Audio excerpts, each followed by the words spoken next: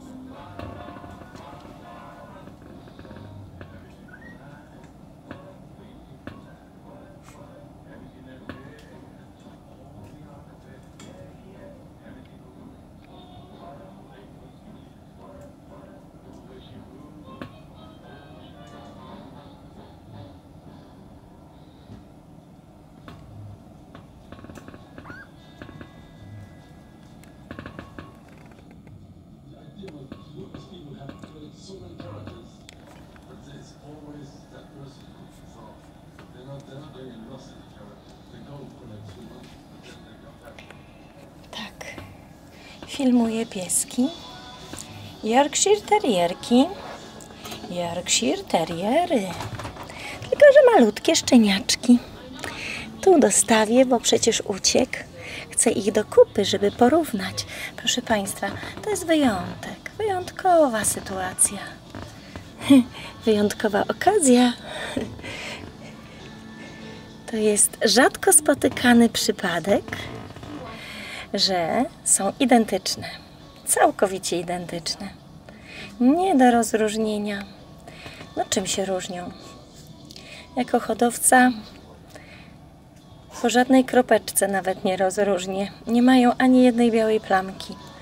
Ani na łapce, ani na szyi. Nigdzie. Po prostu są czarne z podpaleniami złotymi, takimi intensywnymi złotymi. To jest złoto rude. Cynamon, machoń, rude, bursztynowe, piwne, jakie kto chce kolorki. Ale są to trzy identyczne jorki. Identyczne. Nie do rozróżnienia. To są bracia. Bracia bliźniacy z jednego miotu. To już jest mój przychówek z obecnego nowego roku 2019. Urodziły się w tym roku 2019. W styczniu mają miesiąc. Miesiąc mają, są malutkie, ale nie będą takie malutkie, nie będą takie mini, mini, mini, mini. Po co? Po co mają być wszystkie jorki torebkowe, kieszonkowe? To są jorki prawidłowe. Prawidłowe, takie, które będą mogły sobie biegać, podskakiwać. Jak będą już dorosłe, będą samodzielnie wchodziły po schodach i schodziły ze schodów. Będą mogły sobie wskoczyć na kanapę i zeskoczyć, oczywiście w wieku dorosłym.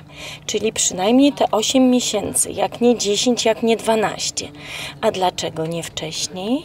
Chociażby chciały, dlatego że u szczeniaków trzeba dbać, trzeba chronić ich stawy, które są jeszcze w trakcie rozwoju, w trakcie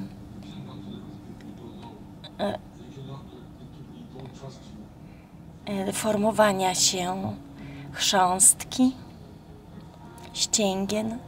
Nie wolno, jeżeli szczeniak za szybko skacze po schodach, po kanapach, po fotelach, jeżeli na podwórku, po klombach, po mm, tarasach. Nie wolno dopuścić, żeby szczeniak mm, nadwyrężał stawy, żeby przeforsował, ponieważ to grozi czym? Kontuzją. Może być potem, te stawy mogą być potem luźne. Niektórzy nawet y, sugerują operacje ortopedyczne na kolanka. A mo można tego uniknąć, jeżeli się dba o szczeniaka. Szczeniakowi nie wolno wskakiwać i zeskakiwać. Mały szczeniak do ósmego miesiąca życia powinien poruszać się tylko po powierzchniach płaskich. Oczywiście mówię o małej rasie, o Yorkshire Terrierze Mm, nie wiem, jak jest z owczarkami niemieckimi, czy y, z bokserami, z rottweilerami. Nie wiem. Być może tamte wcześniej mogą sobie pokonywać przeszkody, ale myślę, że z racji tej, że to jest duża rasa i mają długie łapy, to wejść na kanapę czy na fotel to nie ma problemu, tak? One wcale nie wskakują, tylko wchodzą i schodzą. Taki Doberman to na fotel to tylko łapę postawi i już jest na fotelu. A tutaj takie maleństwo musi się silnie odbić, odbić się w górę, czyli tylne łapki jak u zajączka muszą być skoczne, odbijające się. Zając ma skoki, tak? Tylne łapki to są skoki. A York?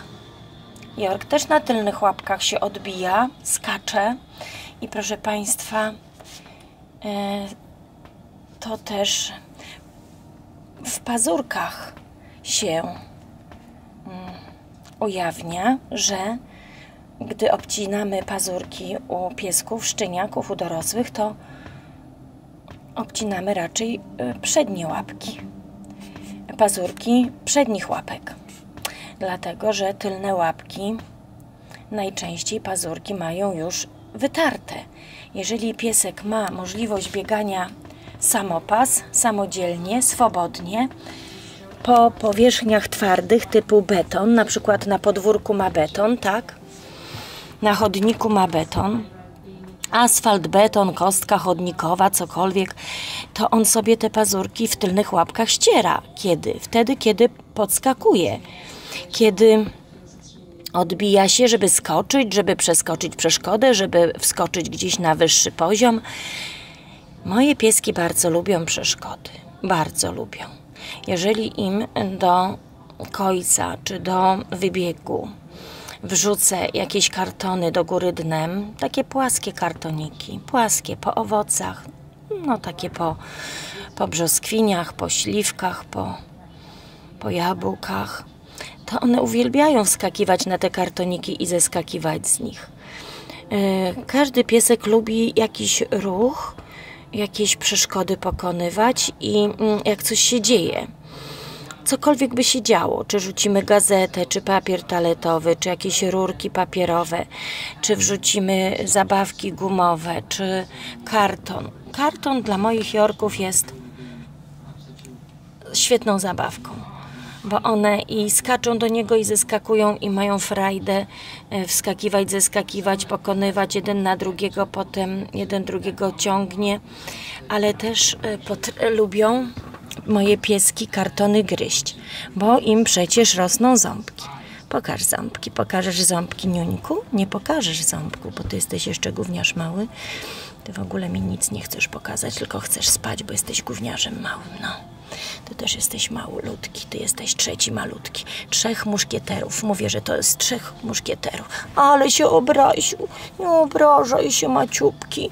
Nie obrażaj się. Pokaż mordeczkę, pani cię kocha. Wszyscy cię pokochają, jak zobaczą ten film. Pokochają i kupią. Przecież pani po to robi filmy, żeby przedstawić swoją ofertę ze swojej hodowli. Jakie się pysie urodziły. Jakie piękne pysiulki. To jest trzech braci trzech muszkieterów. Jeżeli będziecie dzwonić, to mówcie, że właśnie chodzi o tych trzech muszkieterów. Każdy z nich jest urodziwy, identyczny. Każdy z nich ma po dwa jądra. Tak, wyczuwalne, solidne jądra i na miejscu już w woreczku. Nie są w kanale pachwinowym, nie są gdzieś tam oddalone, tylko wszystko jest w takiej torbie na dole. Czuć to paluszkiem, można wyczuć spokojnie lewe jąderko i prawe jąderko.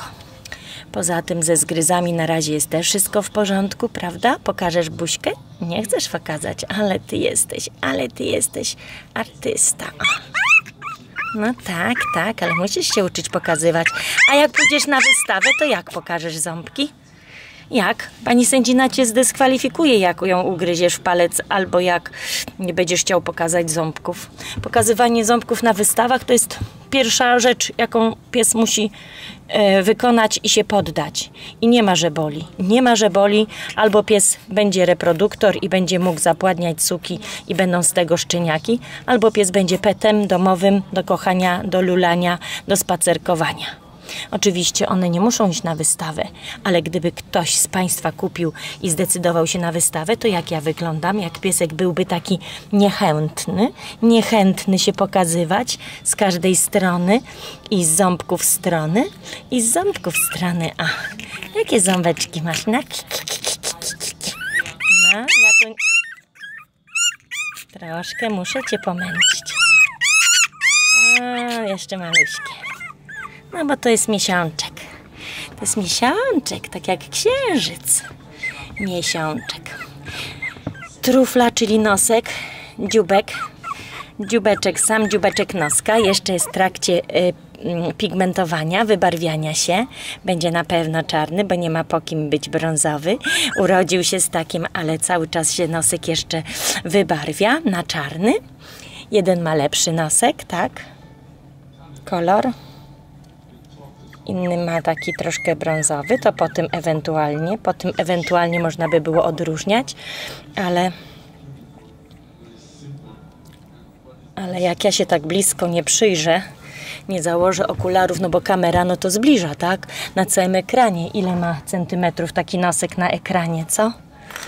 A, a jak przecież widzisz szczeniaka na podłodze, to z daleka.